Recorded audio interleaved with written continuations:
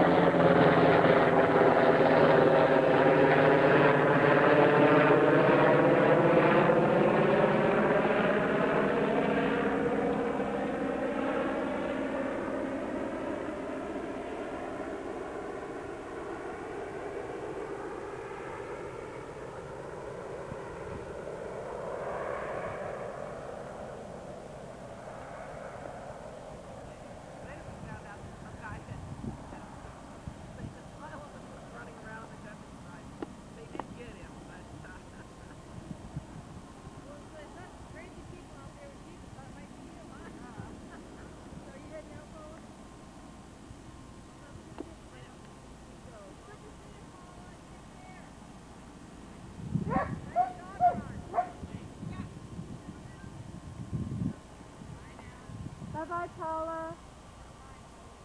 See you next time.